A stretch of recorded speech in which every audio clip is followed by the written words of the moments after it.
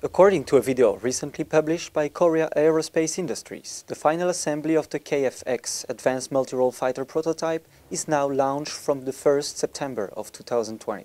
Thanks to the progress made by KAI over the past several months, the first prototype of KFX fighter has been unveiled ahead of schedule.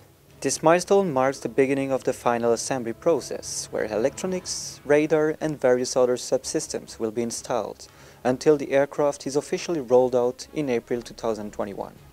First flight will take place in 2022 and a total of six prototypes will be built to undergo testing until production model KFX enters service in 2026. KFX is a 4.5th gen fighter with future plan for 5th gen conversion. It already has space allocated for internal weapons bay and the software development reflects this.